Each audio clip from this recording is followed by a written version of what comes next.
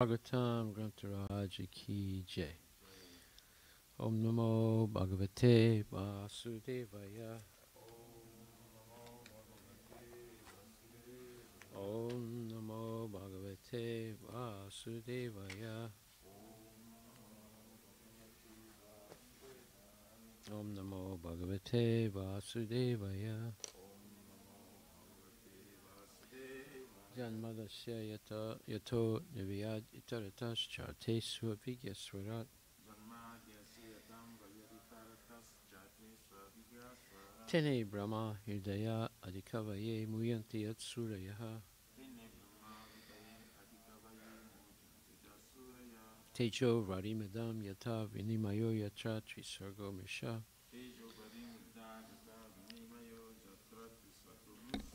Damna Svena Sada Nirasta Kuhakam Satyam Param Dimahi.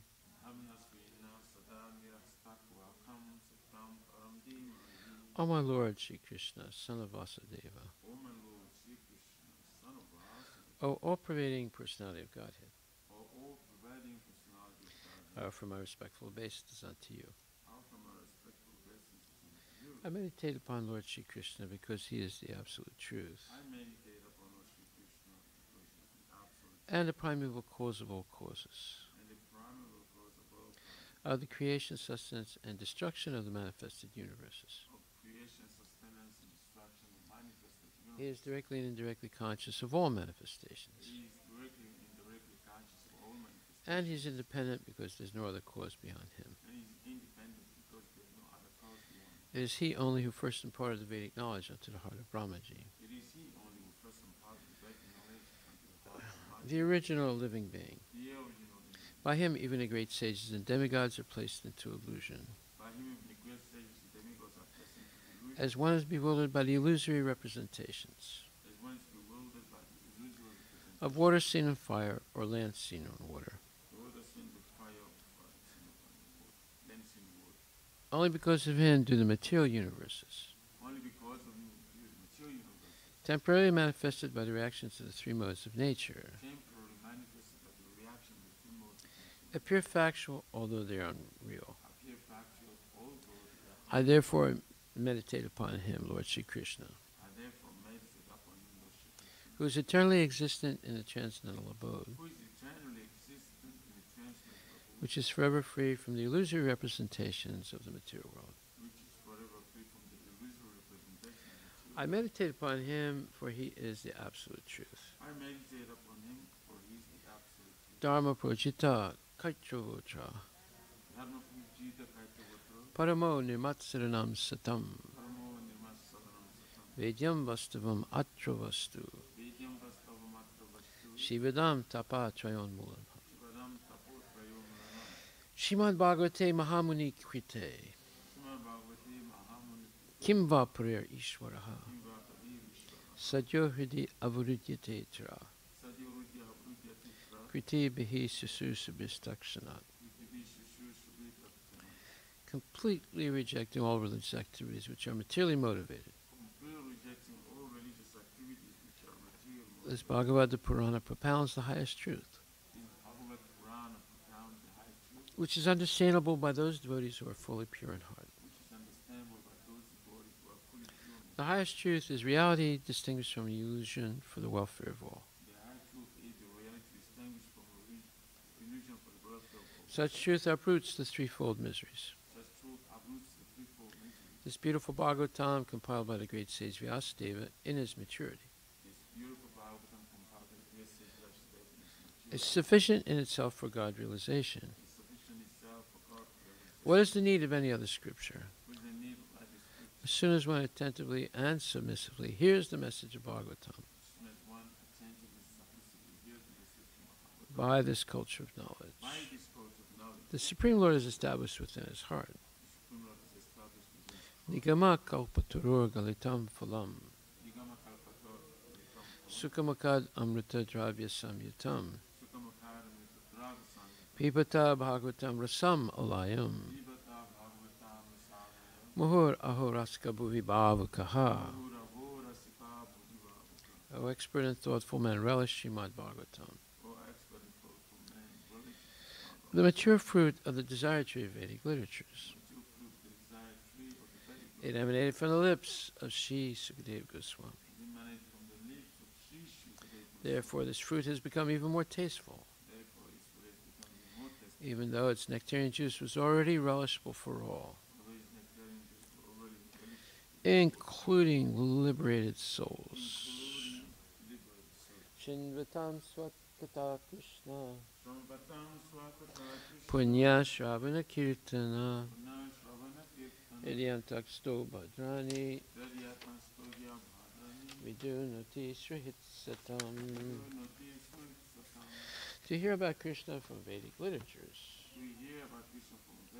or to hear from him directly through the Bhagavad Gita, is it is itself righteous activity. And for one who hears about Krishna, Lord Krishna, who is dwelling in everyone's heart,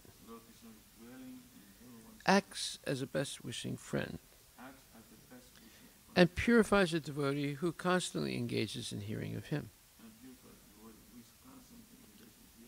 Nastapresu bhadresu nityam bhagavata sevaya bhagavati uttamasloke bhaktir bhavati naistaki.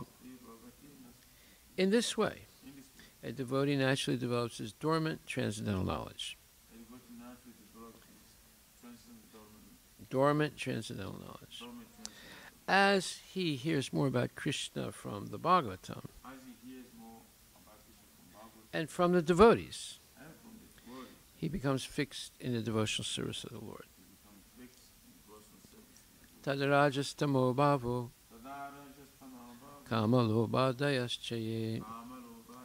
Chetirtaranavidam Stitvam Sattve Prasidati. By development of devotional service of the Lord, I'm sorry, by development of devotional service, one becomes freed from the modes of passion and ignorance. One becomes freed from the modes of passion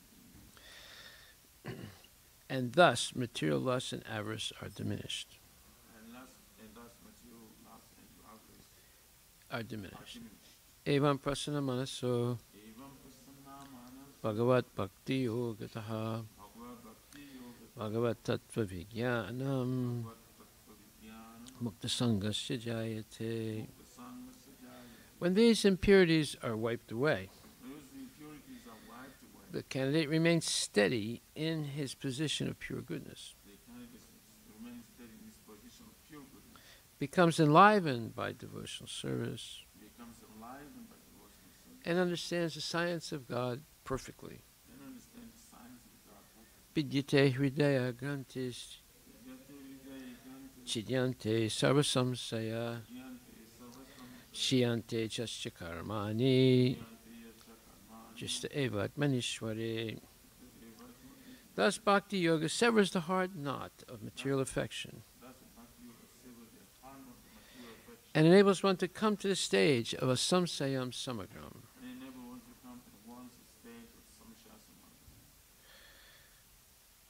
Okay, uh, enables one to come at once to the stage of a samsayam samagram. Understanding the supreme absolute truth personality of Godhead.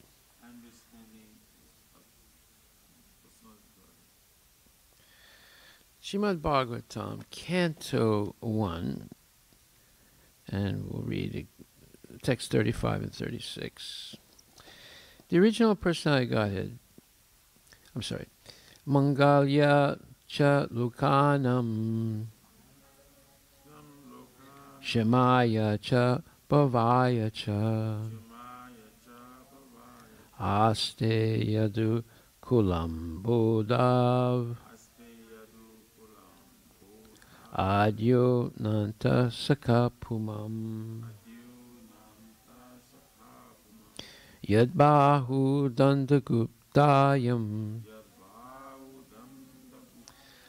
Swapurnyam Yadavo Richita.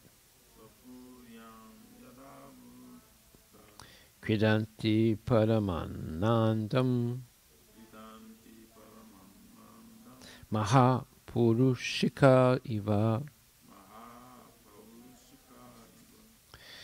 Translation by Srila Prabhupada. The original personality Godhead, the enjoyer, and Balaram, the primeval Lord Ananta, are staying in the ocean of the Yadu dynasty for the welfare, protection, and general progress of the entire universe.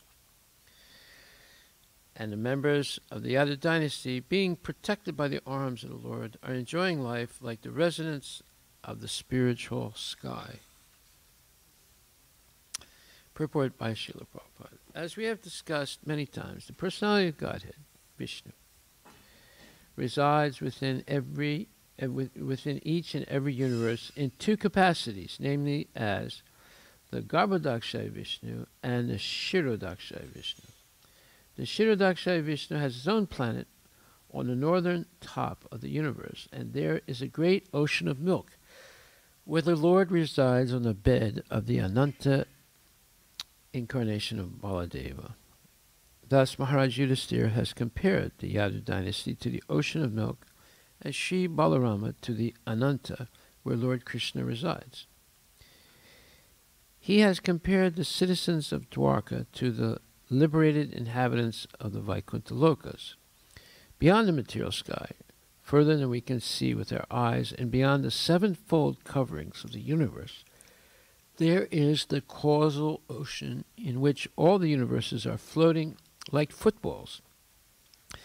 And beyond the causal ocean, there is an unlimited span of spiritual sky, generally known as the effulgence of Brahman. Within this effulgence, there are innumerable spiritual planets, and they are known as the Vaikuntha planets.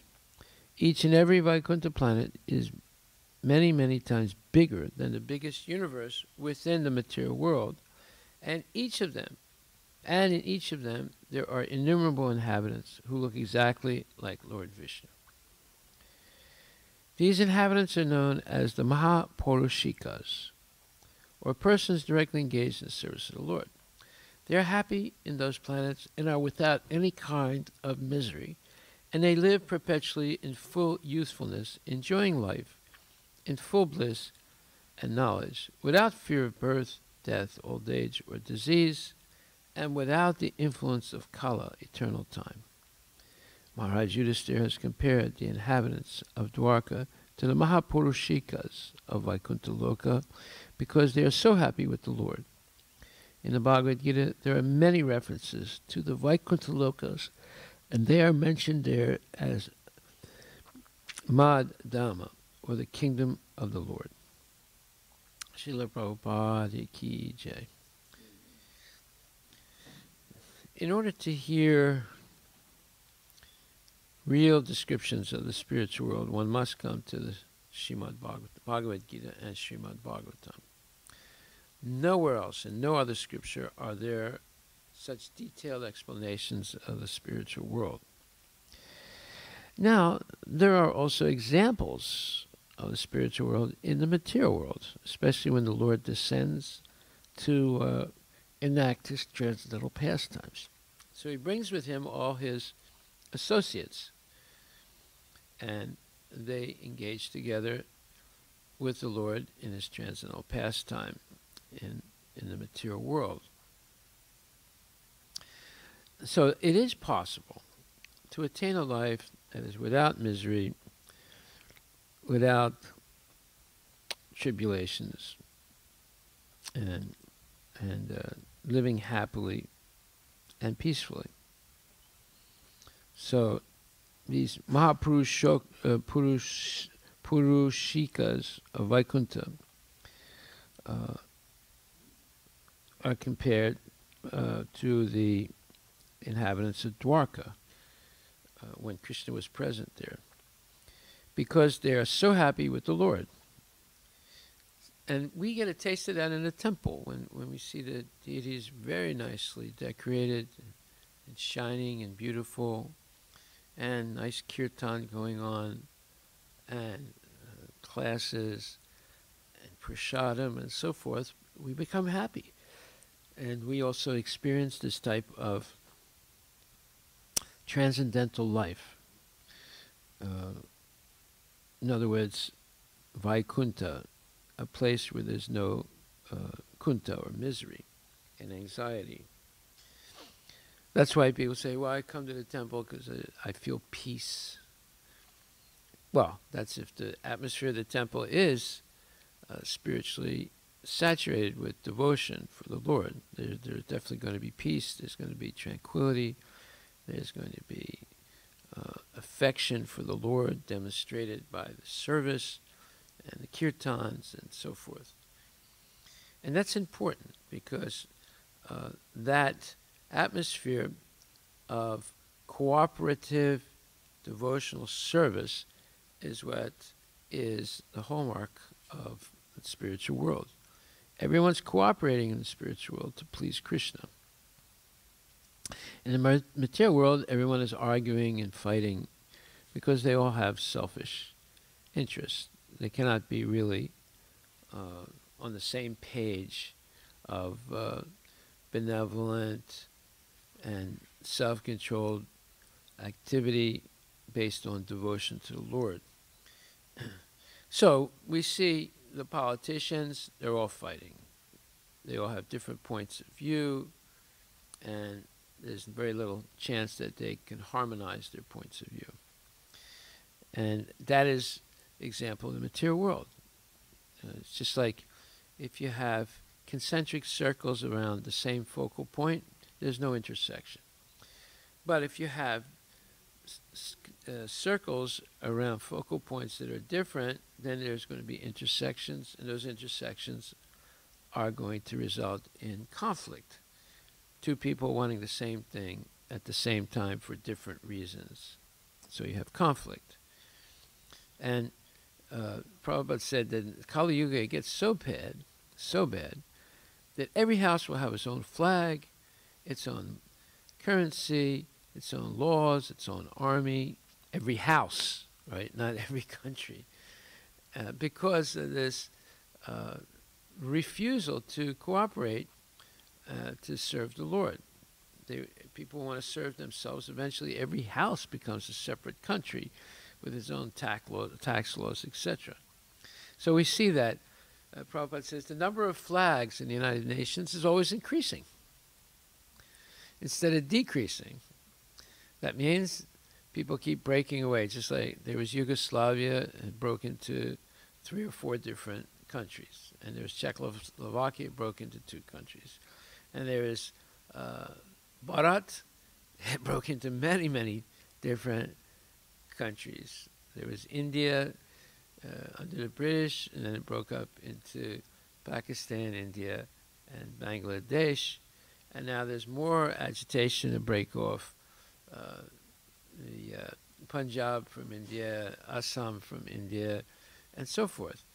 So we see as time goes on, even the United States, uh, before it was 13 colonies, now it's 50 plus colonies, uh, not colonies, but states. And then uh, there are states now that want to uh, bifurcate, like California, parts of California want to be part, have their own state independent of the large state of California, and then parts of uh, uh, west uh, eastern Oregon want to join Idaho, and so forth. California maybe one day want want to secede from the United States and have its own country. So we see this this downward spiral of arguing and uh, lusty behavior and so forth. That's Kali Yuga. But the spiritual world is full of cooperation. Everyone wants to cooperate because they all have the same goal to please Krishna. So whether you please Krishna, I'm happy, or whether I please Krishna, you're happy because we have the same goal to please Krishna. Uh, there's no envy. Uh, it's not like you know the corporate corporate uh, culture in which people are trying to undermine each other in order to get ahead. In other words, they're kicking someone down for them to go up. Whereas Prabhupada says Krishna consciousness is, the process of kicking everyone up. And the material world, the process is kicking people down in order to go up uh, due to one's selfish interest.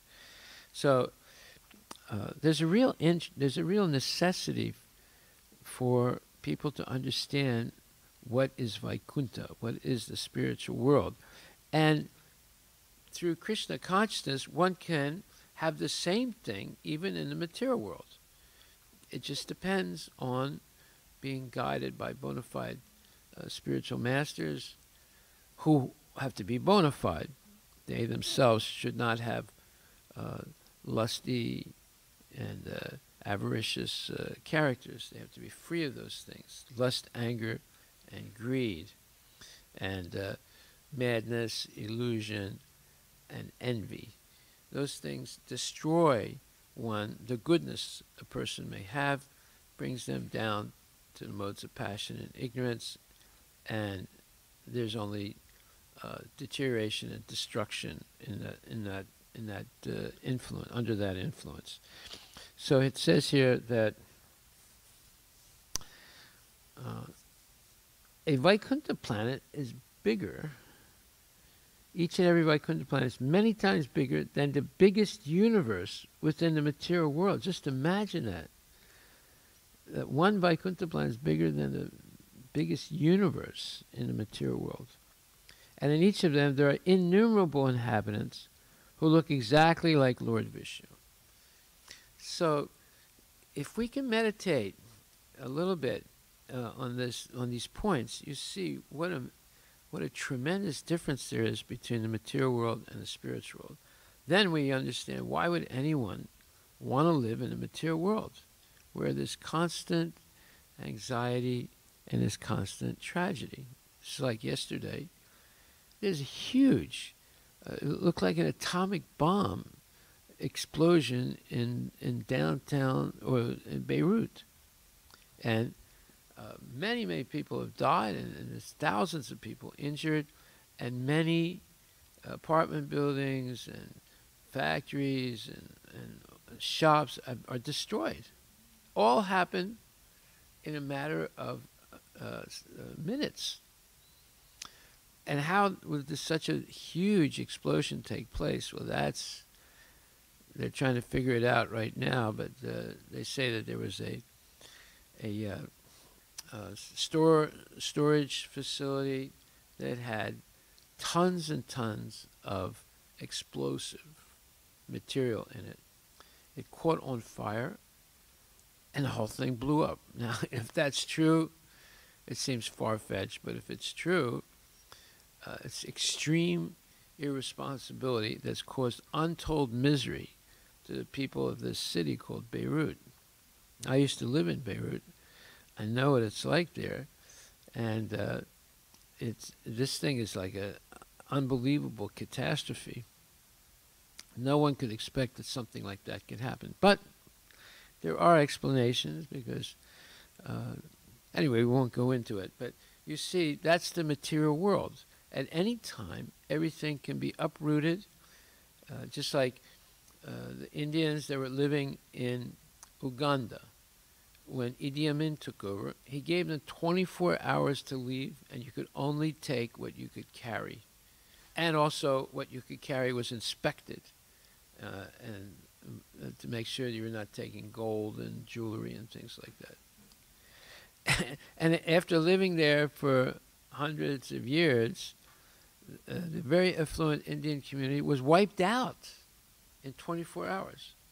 And all their lands were confiscated, and all the, you know, the, the cemeteries and whatever they had, they were all destroyed. So that's the nature of the material world. There's, there's no, no predicting what can happen here. Therefore, uh, but yes, we can predict everything is going to go through six stages birth, growth, staying, giving off byproducts, dwindling, and death. So that's the nature of the material world. Uh, and during that period of six, let's say, transitions, if we waste our time eating, sleeping, mating, defending like animals, then uh, we have rude awakening at the moment of death that we don't know what's going to happen to us. And most likely, we have to take birth again in different species and continue suffering in the material world. So therefore, we should use every moment of our life to cultivate Krishna consciousness, to help others become Krishna conscious, and to disseminate this knowledge, uh, which is the only true knowledge of uh, the material world, the spiritual world, of Krishna, of the living entities, and what our actual duty is in life. Hare Krishna. So, are there any questions?